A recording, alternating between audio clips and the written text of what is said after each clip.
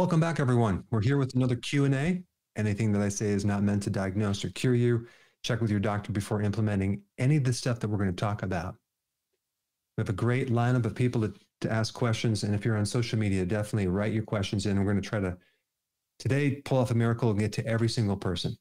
Absolutely. And we have some highly intelligent people in the green room ready to talk to us about their various foibles or success stories or whatever. And uh, also, we have uh, the usual quiz questions. Now, I must warn the audience there are no true falsers, which would allow you to flip a coin and be smart or dumb, respectively. In this case, you're going to have to use every cognitive uh, talent you have. But they're interesting questions, so we should all know the answer to these. And, Doc, here's the first one. All right. So, first one is which sugar is worse than high fructose corn syrup? Thanks for. You actually, I could ask it even better. Which one is more deadly? Ouch. So, that's the first question.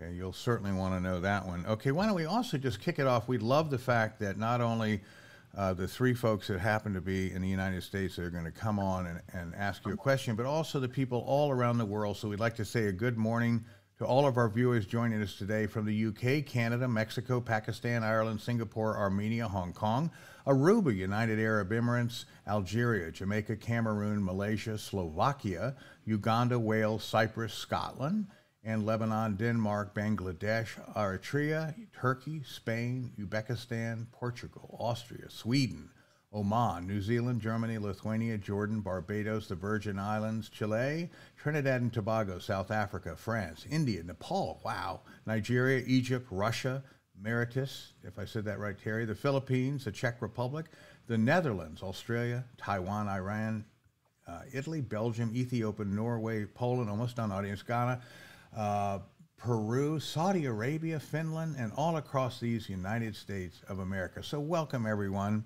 And don't want to put the people in the green room under pressure, but they're all looking for high entertainment from all three of you. So, stand ready uh, to uh, be a big part of the show.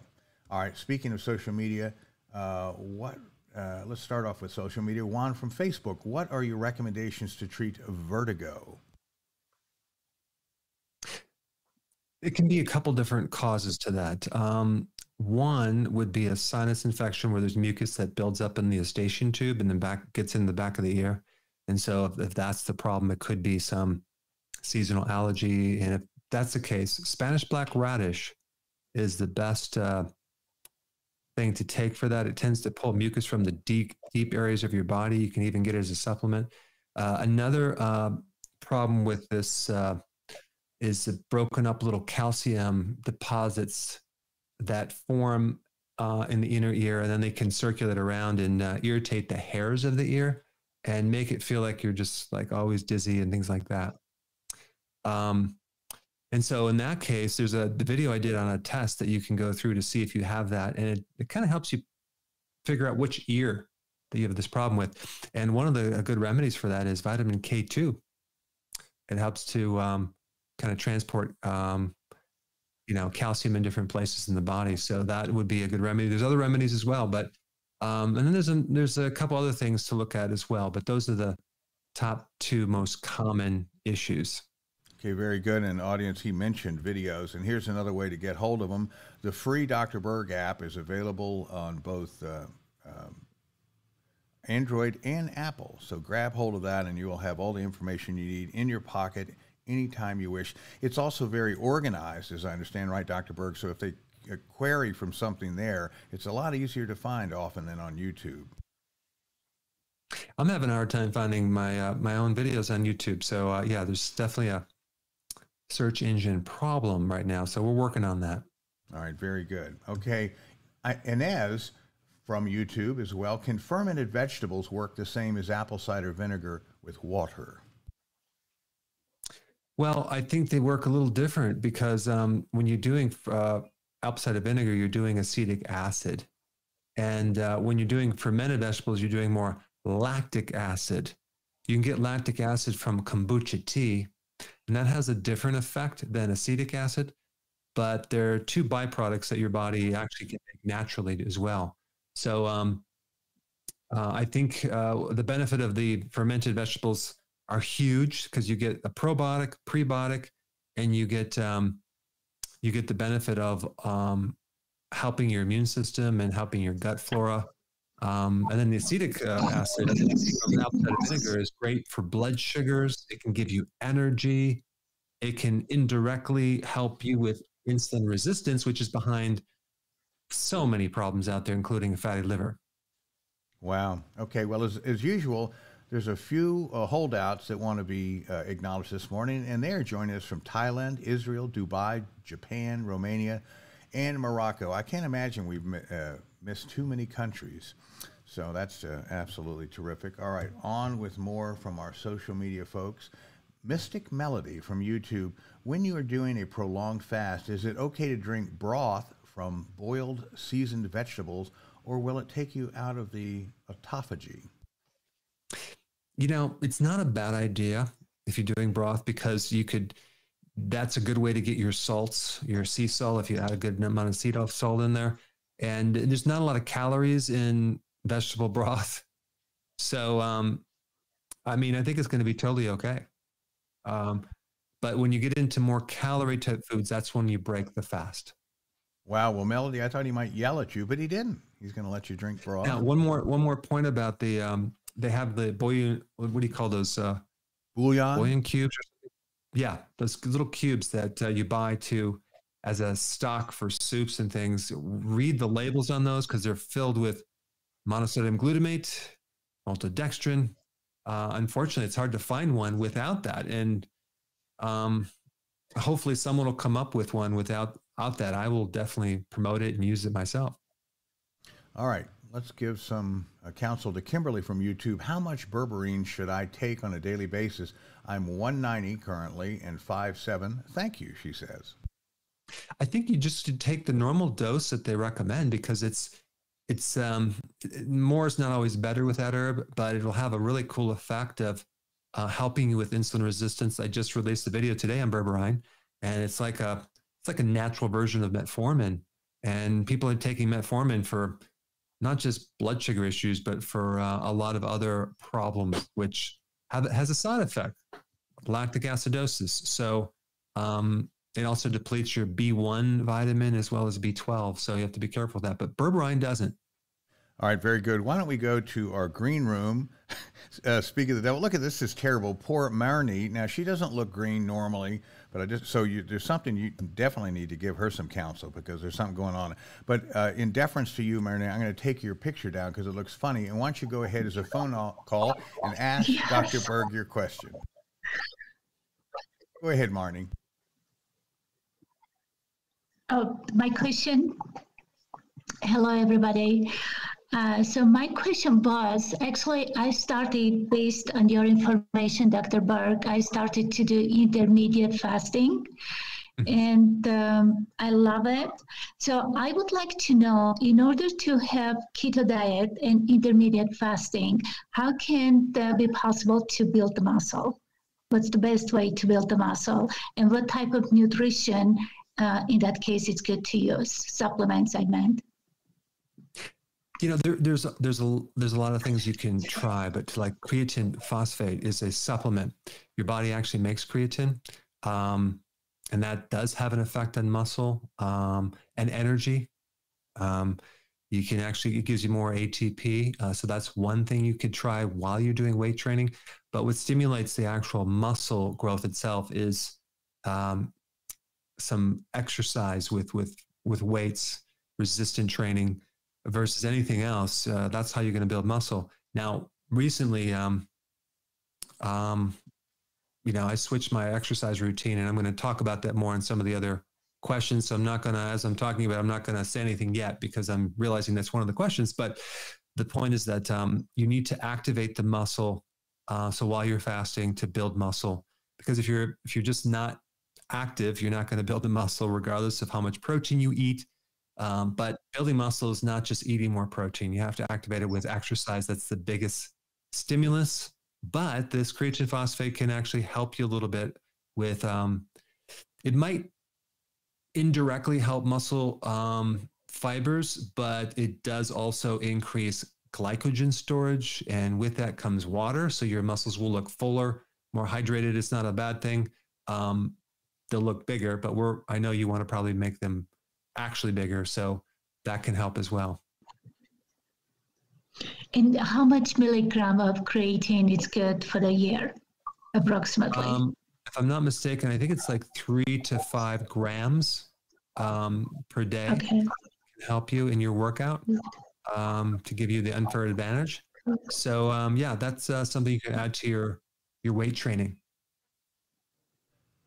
Okay. All right, Marini. Well, listen. My question. All right, thank you, Marini. Listen. Yes. Uh, thank you. Okay, and get back with us and let us know if you get all buff and stuff. That's what we're looking for and hoping for you. All right, folks, and the first quiz question of the day was answered, and it asked, bring that up, which sugar is worse than high fructose corn syrup? And the audience, and I hope they're right, least 80% of them say it is one of the many artificial sweeteners, such as erythritol, and then the last 20% say it's maltodextrin. What do you think, Doc? Okay, so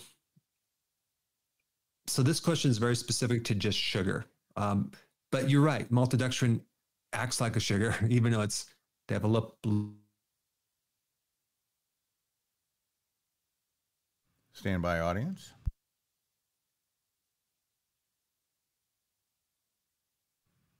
While we're waiting for the doctor to come back, I'm going to entertain you once again to remind you all to get the wonderful uh, free download, and um, that will allow you to watch Dr. Berg even when he's frozen on screen, like he appears to be currently.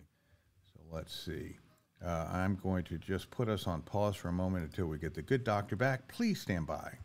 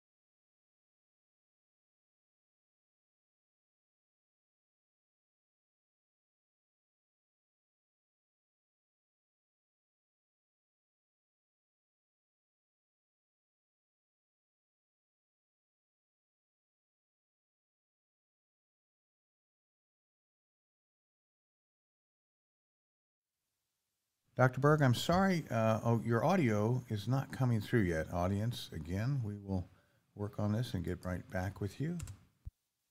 Um, I tell you what, folks, we may need we may need to kind of restart this software, Dr. Berg. I'm really sorry, but I'm afraid that's what we're going to have to do. So, guests, audience, everyone stand by, and we'll be back. Stand by. We're coming back. Oh, wait a minute. Let's see. Okay, that's all right. And.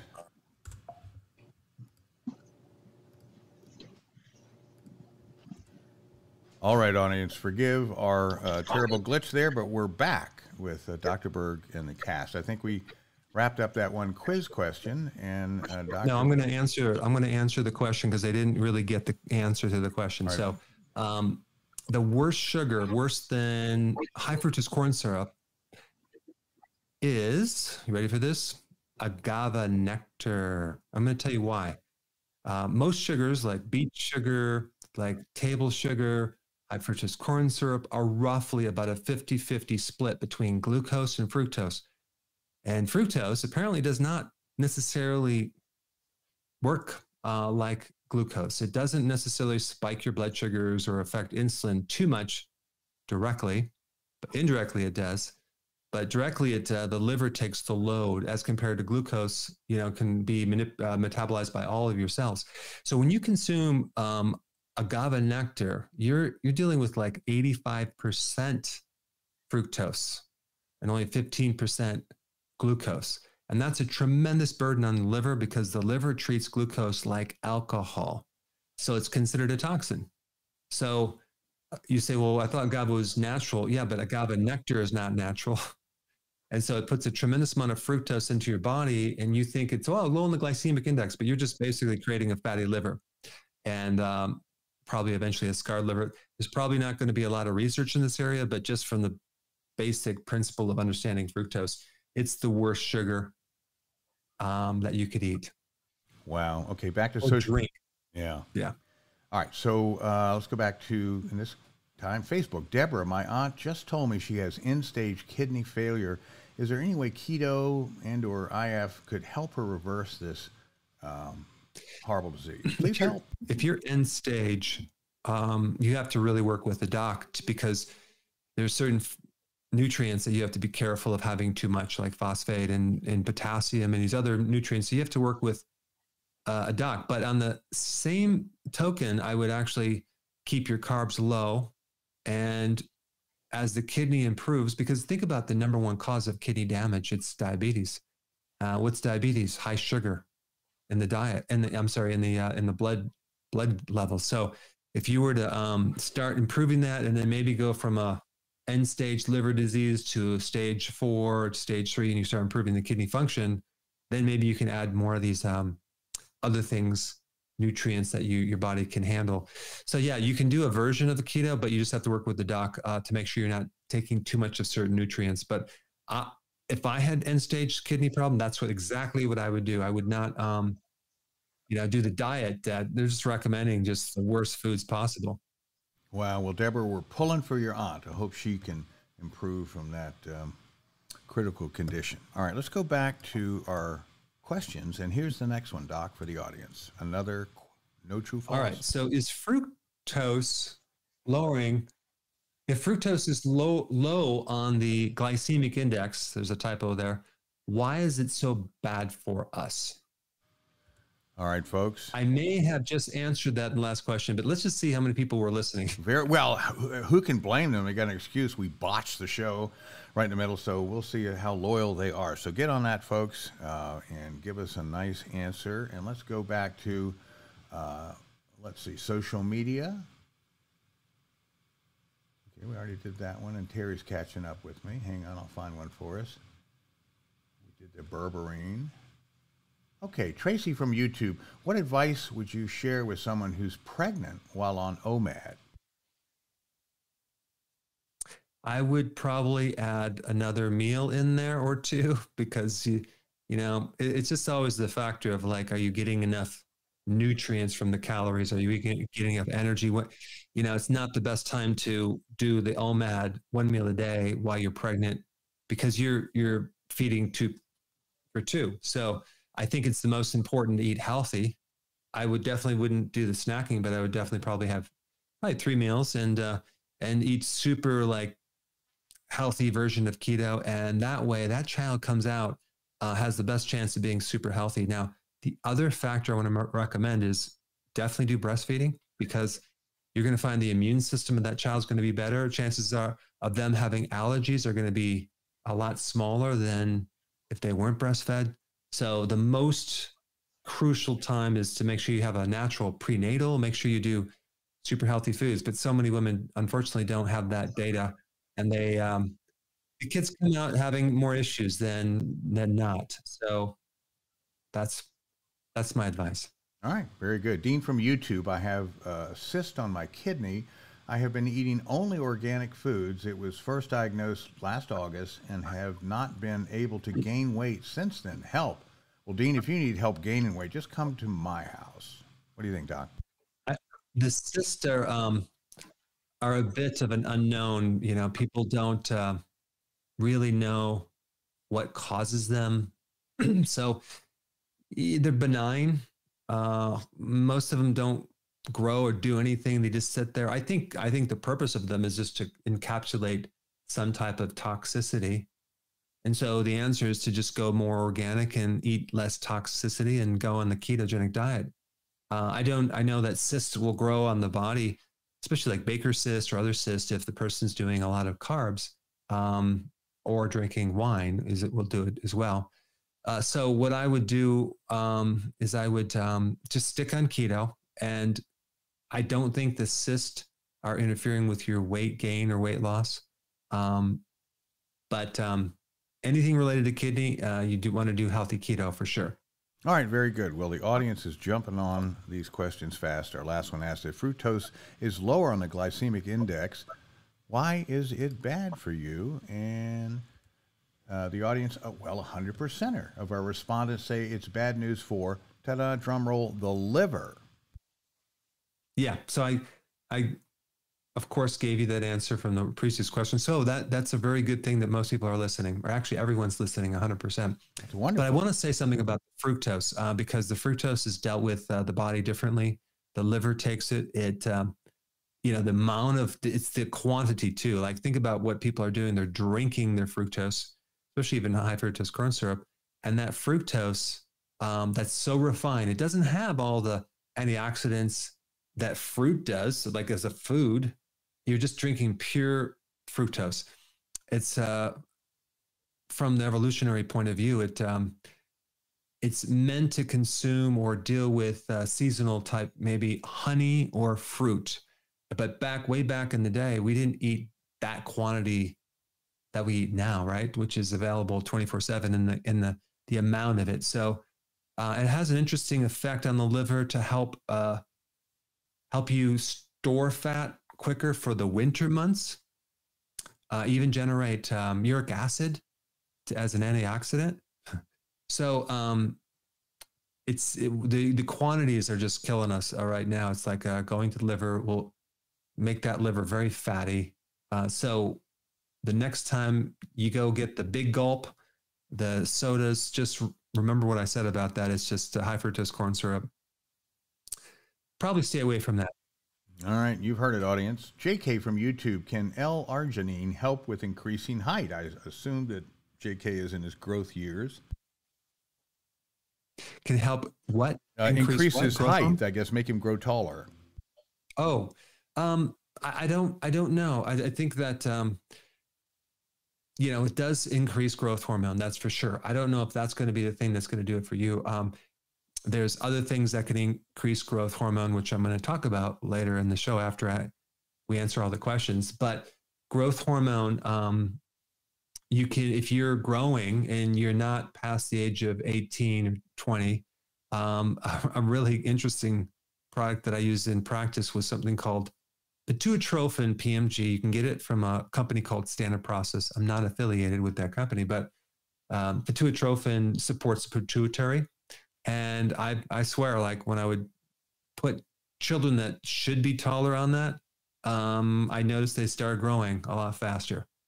Not guaranteeing it, but it's something to look at um, to try out. All right, very good. Uh, L from YouTube, how can I lower my A1C of 6.1? I eat very well and exercise daily. I do have a family history of diabetes. And by the way, Doc, for, for my knowledge and the audience, uh, I hear those numbers all the time. What's good? What's a good A1C number? What's a baseline? A A1C is basically the amount of accumulated glucose that's stuck to your blood cells, like the hemoglobin. That's a really good, uh, one of the best indicators for um, to see if someone's cheating or not, because it gives you an average of blood sugars for the whole three months. So if you're cheating on the weekends, it'll come out average. It's a little bit higher. So we want it below 5.7, but even lower than that. But 5.7 is kind of the borderline. As you go higher, uh, you become a pre-diabetic, and then a 6.4 is an actual diabetic. So, and it just tells you where the blood sugars are. Um, we want the blood sugars below 100, like like maybe 80, something like that. But I mean, a lot of people have A1C like in the fours, 4.5, things like that. And that means their blood sugars are like like low 70s, even 60s. Uh, you might think that's hypoglycemia, but if you're not eating sugar, your blood sugars will go low and you'll feel fine because you're not adding the sugar. But here's the thing if you are a diabetic or uh, you have a pre diabetic, um, you pretty much lost 50% of your beta cells. That those are the cells in the pancreas that make insulin, which means you have less insulin to deal with, which means you have less ability to push the blood sugars down. So even though you start the ketogenic diet and you come off sugars, it might take longer for you to bring your sugars down because of the fact you just don't have the insulin any, um, like you did before. What you need to do is just add those other things like the apple cider vinegar, the berberine, be real strict and just give it more time because it will happen if you do it. It might take weeks or months, but just hang in there, um, add exercise as well, and um, eventually it'll all come down, come out in the wash. But um, it's just that uh, that's really why your blood sugars are higher and it's hard to bring them down. And then, of course, that relates to A1C because it, you're measuring an average of blood sugars for the whole three months. All right, El, it sounds like you're on the right path. Uh, you know, keep exercising and eat very well. Maybe you need to examine that. Uh, and Dr. Berg has a million uh, videos to help guide you in that regard. Okay, Anna from YouTube, which diet would be best for a young child? Should they follow the healthy keto and IF diet at an early age? I can anticipate your answer. It really depends. Uh, definitely healthy keto for sure, but fasting, it really, you know, if you're seven years old and you're watching this right now, uh, you probably don't need to do intermittent fasting. But I will say, um, if if kids would just have three meals a day and not all the snacks, that would be a good thing because I think uh, even if we compare myself when I was a kid and even Steve when you were a kid, you probably didn't snack as much as they do now. Everything is snack, snack, snack. Bring food everywhere you go. Uh, it's just it's all pushed by the uh, snack industry. Uh, in fact, this might be shocking, Steve, but there, if you go to the grocery store, there's entire aisles of snacks for sale. Did you know that? Well, um, unfortunately, I've fallen victim to that a few times. Even with my immense discipline, sometimes my feet screech to a halt in uh, in such a spot. Yeah. So um, do the three meals, and then let's say a child is uh, 11 or 12 years old and there's obesity. Well, then maybe just do two meals a day, but make sure it's sufficient calories.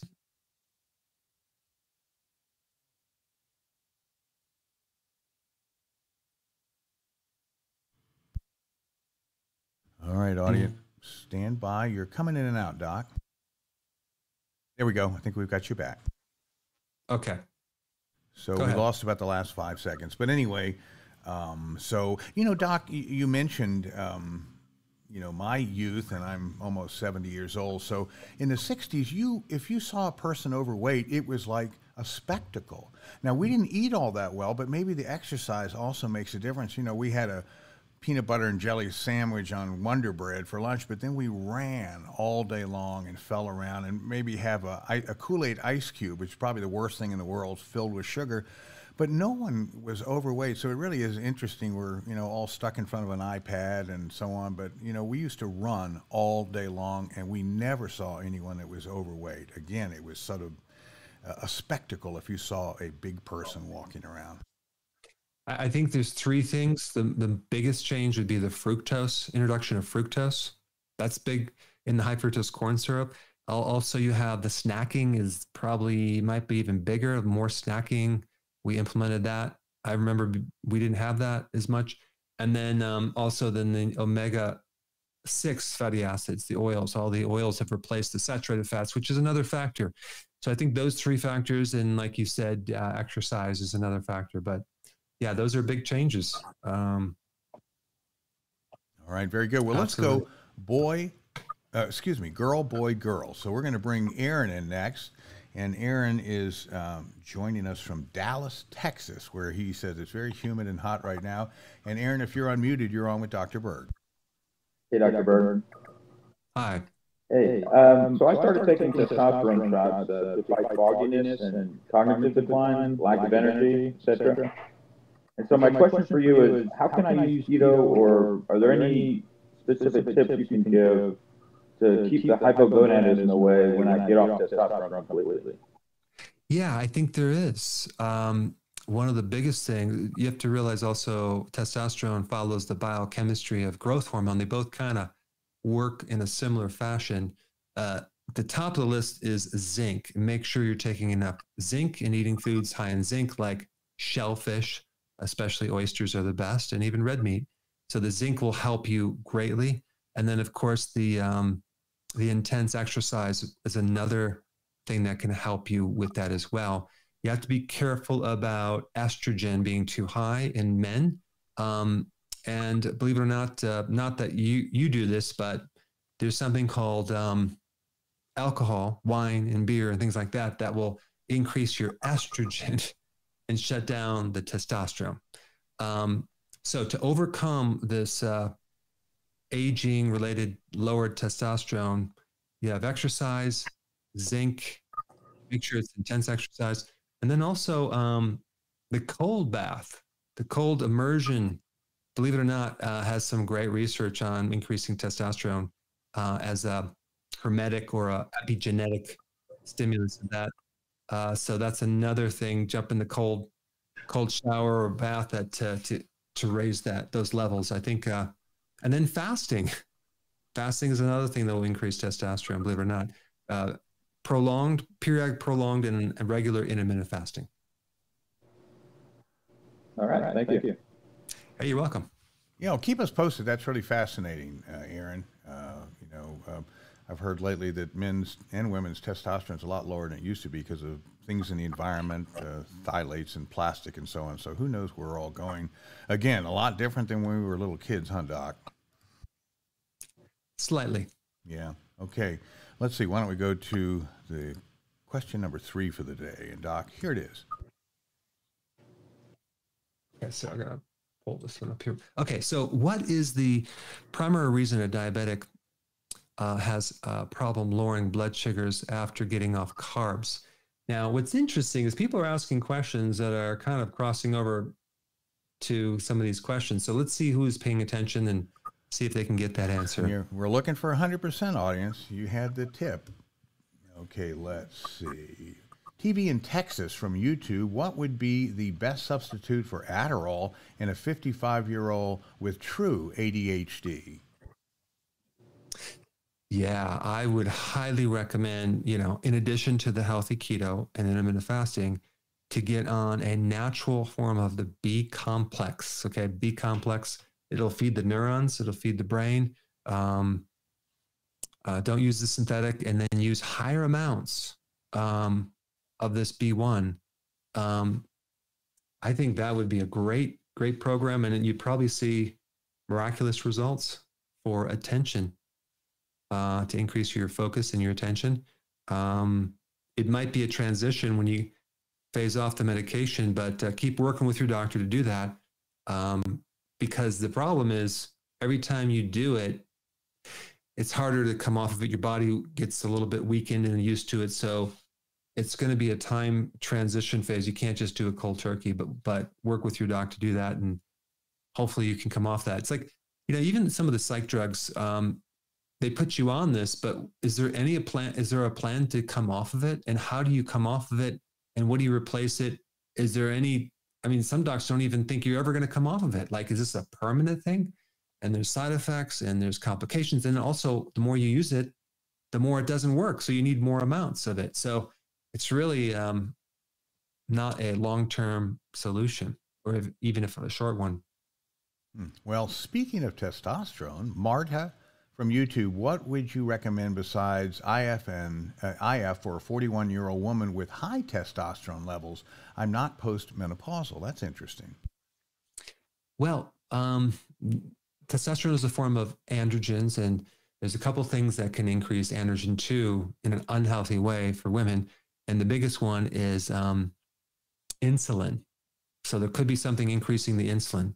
So you want to go on low, low carb do intermittent fasting.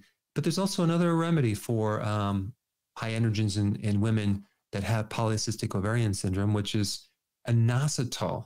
Inositol is a really good remedy to help regulate that. And it just so happens to be kind of a, it's a type of B vitamin that is even sweet. It's like when you, you can suck on it, it's like eating candy, but it's, there's no sugar in it. It's interesting. All right, very good. Well, I'm very relieved to hear from Spam Mouse from YouTube who has the theory that Dr. Berg's goats are eating his internet connection. And I appreciate that, Spam Mouse, because that takes the pressure off of me. Certainly it can't be my production setup here. So, Dr. Berg, everyone forgives you and your goats for botching up the um, the feed earlier. Well, and I'm completely absolved. I, I will say I will say something about goats. Out of all the animals, different animals we have, boy, those goats, I'm, I swear they it could be a sitcom. They can get in, they have personalities, they get into everything. No matter what you do, you can't conceal them in a paddock. They'll find a way to get out no matter what. And uh, I keep building bigger barriers into the point where they somehow got through it. So now, how about your pet goat? We haven't heard from him in about a year. Billy, is it? What, where's what's Billy doing? Yes, Billy. Billy is uh, one of the goats uh, that Karen uh, bottle fed, um, and and he's the kind of the leader of the pack. So uh, yeah, they're uh, they're an interesting clan. All right, very Motley good. Crew. Well, again, thanks for saving me on that spam mouse. Really appreciate it. Let's see, Linda from YouTube. I have recurring mono, and I seem to catch colds and virus very easily. How can I boost my immune system? Uh, I feel myself getting more tired and weak over time. Sorry to hear that, Linda. Yeah, the mono is a usually the Epstein-Barr virus. It can go, it's a latent virus, can go in and out of remission, um, mainly triggered by stress, emotional stress. So that is something you have to hyper focus on and do whatever you can to improve that stress and do things to re- release the stress, including physical work around the house, long walks. Um, you know, I have a lot of videos on that, but um, you can also take things like zinc and vitamin D but it's usually some type of uh, stress stress situation that activates or brings it out of remission. Um, and so that's that's the area that I would put your attention on. All right, very good. Okay, Asian calling themselves that Asian from YouTube is the high fat keto diet acceptable for someone with no gallbladder? There's a few of those. Yeah, yeah, because guess what? Your your body still makes uh, bile. It's just not stored and concentrated. So uh, some people are do just quite fine. But let's say your stool uh, becomes light colored, or it starts to float, or you notice your eyes at night. You're driving, you can't quite see as well. That's a lack of vitamin A. It means you need more bile. So just add a little bile salts after the meal, and that will solve that problem. But um, if you have too much bile, you'll get diarrhea. So that's another way to know you have too much. So. All right, very good. Well, the audience didn't answer this with 100%. And the question asked What is the primary reason a diabetic has a problem lowering blood sugars after getting off of carbs? And let's see the split in the audience. 65% of the respondents say it's because it takes time for the insulin to be restored to a normal level. 20% say it's because all of the stored sugars in the body, like glycogen, uh, and 15% there's less insulin in the pancreas to, to process the sugars. Three answers. Well, you, you know, um, most people got it right because it's, like I said before, you're only producing, you only have like 50% of the beta cells that make insulin. So now because the pancreas is damaged, so you, you're not, you don't have enough insulin anymore. And on top of that, you have insulin resistance. So uh, because it's been working so hard, it's exhausted. So now we don't have that that push down blood sugar push down uh, force anymore like we did before. And so if you're diabetic, it takes longer to reestablish these blood sugars. the thing to do is know that, don't give up, and give it more time. So, um, more fasting will help you, and uh, you'll see it'll eventually, over the course of weeks or months, it'll it'll come down. All right, very good. Well, before the goats get to the wire again, we should get Georgina on, and she's from Baton Rouge. And Gina, you are on with Dr. Berg with your one question in 30 seconds. Go. All right. Hi, Dr. Berg. I have Hello. been on your plan since February. Um, doing great, resolved many issues so far, but there is one that no one seems to be able to help me with. Um, I have suffered from lifelong hormonal migraines that come around the time of my cycle, um, accompanied with extreme hunger, and nothing seems to help. Um, I've tried the sodium like you recommended, um, and it's like a a speeding train. I, I can't stop it. I don't know what to do. Um, I want. I don't want to rely on the pharmaceutical medications anymore. Do you have any suggestions? Did you say it's related to your cycle, right? Yes, it's a week before or the day of, and it it comes in threes. So I have three days of full blown migraines. There's I can't seem to um, I can't seem to fix that issue. I I've suffered with the hypoglycemia, with the hunger, headaches, and the keto has helped that. And I thought it would help with this hormonal issue, but I can't seem to stop it. Like for example, I woke up with one at four o'clock this morning today. I had to take a pill. and I'm not hungry. I'm fasting 23 hours a day, except when my cycle's coming, I can't stop the hunger. Yeah, I'm sorry to hear that. That's terrible. I could only imagine. That's uh, very irritating. There's a couple tips. Uh, it's definitely um, related to a shift in estrogen, what estrogen does. There's a couple things that I would try right off the bat. Um, I have, there's been some success with doing um, turmeric, like uh, maybe a couple days before your period, and really getting that turmeric in the body. It has uh, some cool properties to help hormonal flows. The other remedy would be milk thistle for your liver, uh, because there's a there's a hormone there's a was a protein that helps you buffer uh, fluctuations in estrogen, and you might you might need that help. And uh, milk thistle is one of the best uh, protective herbs against so many things in the liver. So it basically protects the liver against poisons, and uh, and also it helps with estrogen. And of course, um, I'm guessing you already tried DIM, which is a concentrated cruciferous, which actually helps regulate estrogen. That's another factor that I would look at. Um, and um,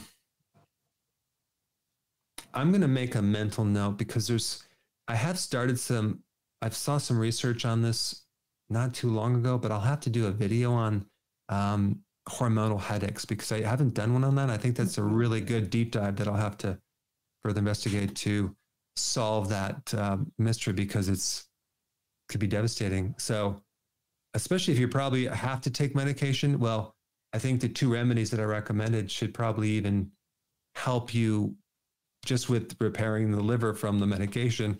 One thing that I'm I also have attention on that um, might also help you during the headache is to take that TUDCA because what it can do for just the flow of things through the liver and maybe take higher amounts uh, right when you start to get the headache and see if that doesn't resolve it. So TUDCA is another thing to put on the list.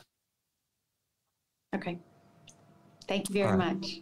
You're welcome. Good luck with that. There's, uh, I understand migraines are no fun, and I feel very blessed that that's never been one of my issues. So, um, we'd love to hear back from you, Georgina. Uh, I wonder if it's all the fungus in Baton Rouge. I was teasing her that it's so sticky and hot down there. I mean, my gosh. Um, Yeah, if it was the fungus, she would have it all the time. She would have it not during the cycle. exactly. Well, I'll quit playing doctor here. Anyway, good luck with that, Georgina. And let's go to our next to the last question, Doc. And here it is. Okay. Which epigenetic factor is better to help you burn more fat? Cold therapy or heat therapy? Interesting. All right, audience, jump on that. And let's go to Jasmine from YouTube. What can I do to treat my SIBO? I have been using your gallbladder formula as well as vitamin D and your electrolyte and cruciferous supplements. What else can Jasmine do? SIBO is small intestinal bacterial overgrowth. It's a situation when you have bacteria in the wrong place. It's in the small intestine. It should be in the large. And uh, and I think, if I'm not mistaken, you said you're taking betaine hydrochloride because you need that for sure, and a lot of it to really keep that stomach acid. You're taking the bile, which is good because that'll flush out some of the bacteria too. But the next, probably most important thing is to do uh, periodic prolonged fasting, more fasting to allow things to kind of go through. Um, the problem is every time you eat anything, especially fiber, uh, it'll actually end up um, fermenting at the wrong place and you feel really bloated. And those darn microbes will start stealing and robbing your nutrition. So you probably would benefit going on carnivore for one to two months. Uh, that way, um, you give these microbes no fiber, no more fiber to ferment, and your digestion will be much better. All right, very good. Mumac from YouTube. Uh, is it possible that you can produce electrolytes without calcium? If that makes sense. That's a good question. I understand why. Um, in my electrolyte powder, I didn't not want to put any, even though I'd never recommend taking calcium in the supplement. So I put really, really tiny amounts, right? There, if you look at the amounts, um, it's very, very small compared to what the RDAs are, at least, which I think are way over the top of like, if I'm not mistaken, it could be like 750 to a, a thousand milligrams. So we're just talking about a few milligrams. So because you're taking all these electrolytes in a group or in a complex, that little bit of calcium, it's not going to be a factor. But I do understand the request. Uh, we probably won't take it completely out, uh, but I, I can look at it again just to reevaluate. All right. Well, audience must be listening because, believe it or not, the question was just was asked: Which epigenetic factor is better at helping you burn more fat, cold or heat therapy? And the audience, as Terry designates, says Burr cold therapy. What do you think, Doc? Yeah, you don't you don't um, stimulate any brown fat. You don't increase your metabolism because of that when you do heat therapy uh, it's going to be the cold therapy. So the cold pit therapy has a very specific additional benefit because they're kind of crossover. They do a lot of the similar things with recovery and brain improvement between those two therapies. But that cold, it's more uncomfortable. It um, it can actually help you lose a good amount of weight. Um, so it's a really cool factor. Kind of, um, you think about what a calorie is, it has to do with heat, right? Releasing heat um, you're releasing a lot of heat when you do the, the cold therapy. And so um, it's a good, I think it's a great thing for weight loss and it's also good for uh, brain health and it's really uncomfortable. So you know it must be good for you, right, Steve? Oh my gosh. Well, you told me five seconds at first. Can you clue us in the audience as to how you're doing with your cold plunge? Oh, yeah. Uh, I, I, I brought, I can't do the 37 degrees uh, Fahrenheit. I, I, had to go up to 50 degrees Fahrenheit and uh, that's at 10 degrees Celsius. And I can do that now for about five minutes. Wow. So it's definitely getting better. It's getting easier. It's like the first minute and a half, all of a sudden, and then everything goes numb after that. And you're just like, okay, I can do this all day. I'll be darned. So it's, it's, um, I like it. It's a really good um, therapy. Well, that's exciting. All right, Doc, one question left. And these have been some great questions today. And here it is. Okay.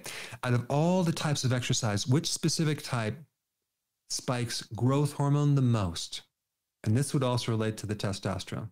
Oh, interesting. All right, audience, you've done so well today. Uh, carry on with that.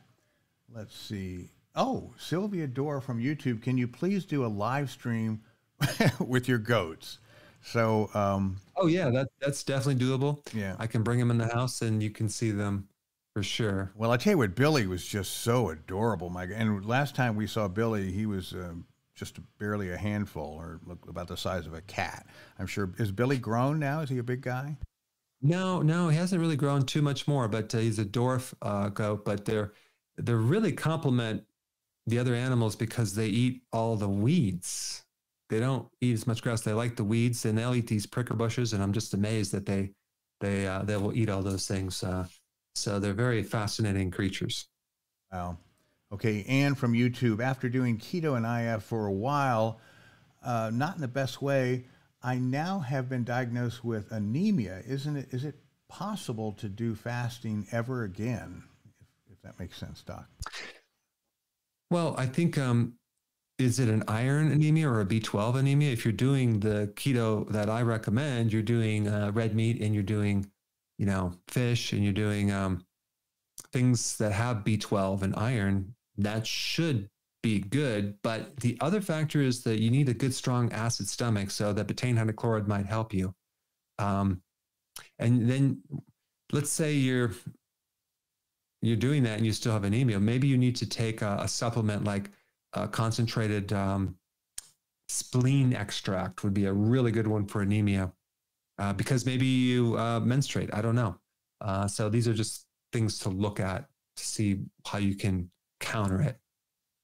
Okay, this is interesting. Black from YouTube. I'm 17 and I'm having a constant, a constant hunger feeling under my chest and near my stomach. this has been going on for a year. What's going on? Uh, that's interesting. Well, uh, we, the, the biggest indicator to know that keto is working and you're burning fat is your hunger goes away. So I can guarantee you that this person is not doing the low carb. They might be doing the higher carb or the frequent meals, which will make them hungry all the time and not be able to go from one meal to the next without being ravenously hungry. So uh, you need to add more fat, and do less carbs, and you will find that your hunger goes away. Very good. The very best audience in the world has whipped through the last question, which asked um, out of all types of exercise, which specific type of exercise spikes the wonderful growth hormone the most? 60% say it's high intensity exercise, 20% say it's aerobic exercise, and 10% say it's weightlifting, and 10% say it's walking. So, so the high intensity and weight training and, and is correct, but specifically sprinting. Sprinting is the one i was looking for. Sprinting does if you do it right you actually work the whole body. Um, and it's the highest intensity type of workout because you're you're using the whole body for this flat out sprint for what 10 seconds?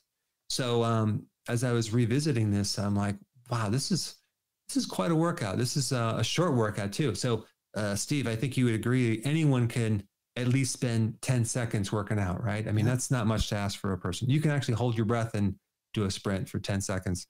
But um, I'm doing the sprinting up hills now because it's actually easier on my knees. And, uh, um, but uh, the sprinting combined with the cold therapy and the heat therapy with fasting and keto is what I'm doing right now. It's like I'm doing, I'm doing a video on that, but um, if, if the key with sprinting is to make sure, you know, of course, do it at your own, you know, level. Don't overdo it if you have a bad joint or a knee problem. But um, it's a great, great uh, exercise. And you would just do 10 seconds and then you would wait for a while. Maybe just go back to what you're doing and then do like seven of those a day, those flat out sprints. And uh, watch what happens. You you'll start feeling really, really good and it, it helps um, on many different levels because you have to this massive explosion of all your muscles have to be coordinated. And uh, you know you want to wear flatter shoes. You want to um, if you can run in the grass that's the best. Um, so that's the exercise that can greatly help you reverse that aging process all right very good this is probably our final deal for the day. And J7 Pro from YouTube is iodine okay for someone with hypothyroid? Uh, hypothyroid. Say that for me. Especially, especially it's for someone with hypothyroidism because you need to build up those uh, thyroid um, hormones with iodine as a precursor. Don't forget selenium. That's for the conversion of T4 to T3. So, like sea kelp has both, and has zinc too. So, um, yeah, that's uh, you don't want to take iodine if you have hyperthyroid, but hypo is is what you want to do. All right, very good. Well, we've got a new sort of thing here. I'm going to bring in a little bumper music to remind the audience and you that we're ready to go out for the week. Well, thank you, thank you so much for all your attention and your patience and uh, uh, tolerating the glitch in the system that uh, Steve promises he will completely and utterly fix next time and never happen again. Absolutely. Um, but uh, appreciate your attention. Stay tuned for more videos and have a wonderful weekend.